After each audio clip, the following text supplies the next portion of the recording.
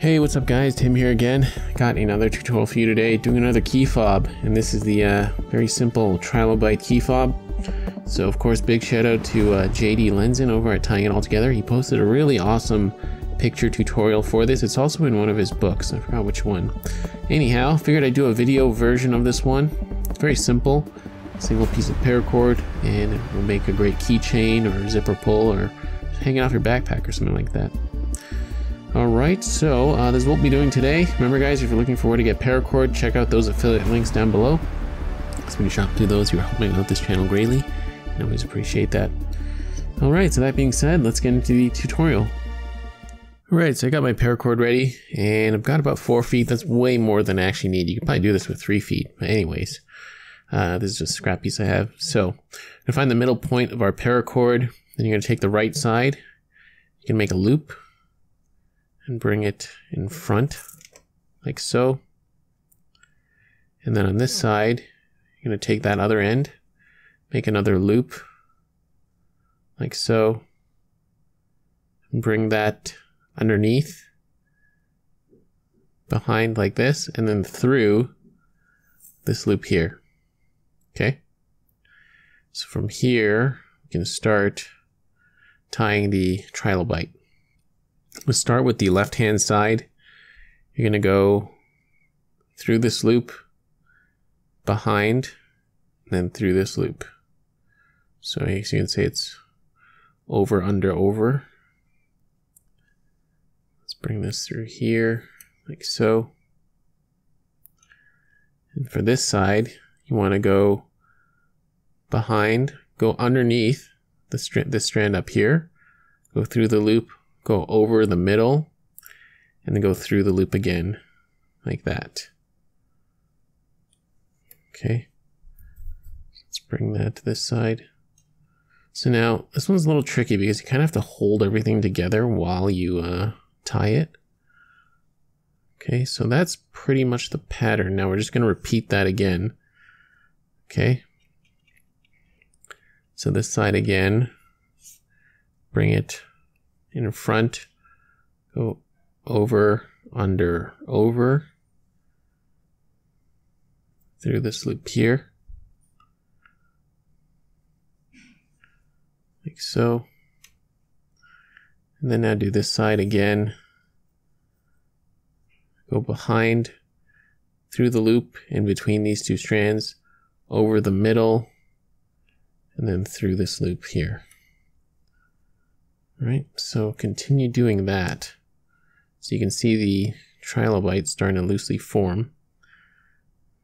Okay, so continue doing that, and um, we can what, you, what we can do is we can kind of loosely tie it, and then I find cinching it afterwards is easier. Okay, so I'm just going to continue doing that pattern. Let's just do it one more time, a little faster though. So through over, under, over, Bring that through here.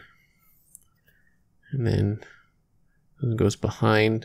So under, over, and under.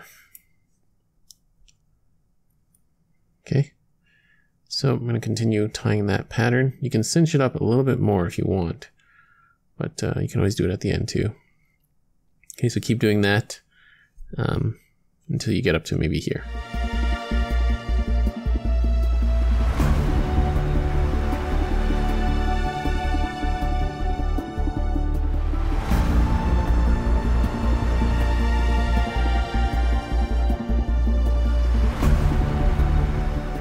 So now when you get to this point, um, see how you can kind of pull in these strands here to tighten everything up. If you want to kind of end it, you can kind of pull it tight here, but I think I want to make just a little more because I still have some paracord and there will be excess when we cinch all the excess out.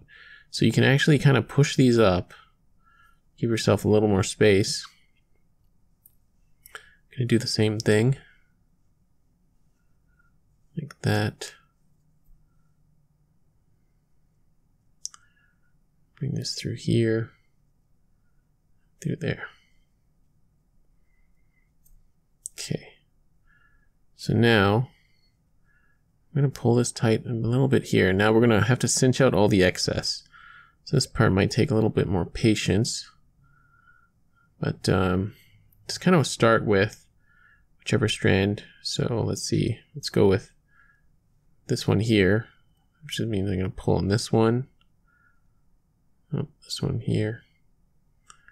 Okay, I guess we're doing that one. Okay, so pull on that one like that. See how this excess is going through? You can hold it this way too if it makes it easier.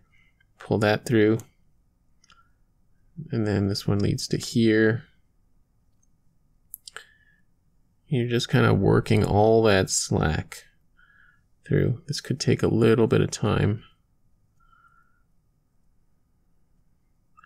So this strand leads to, no, not that one. Oh, this one. Yeah.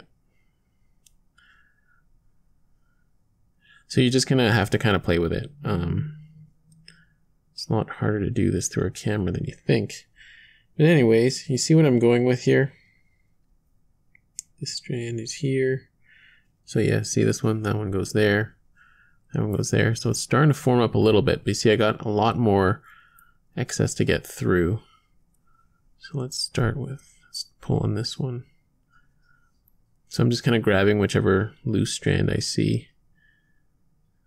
Oh no, I gotta pull on this one. Yep. And then this one.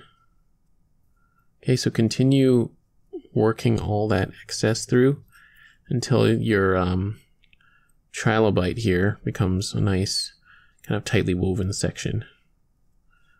Okay, so I'm just going to do that. Right, so work it all the way out to the end. And then um, also, when you get most of the excess out, you can kind of pull on this this loop here. It'll make this loop longer, okay, so just be aware of that and uh, that will kind of cinch everything together.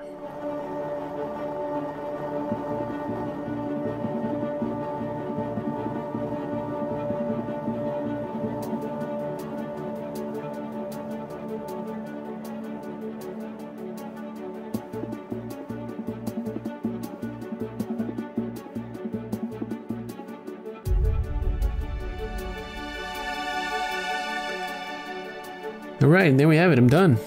So uh, I snipped and singed off the excess here, and I got all the uh, slack through. So the trilobite weave is now nice and tight, looks good.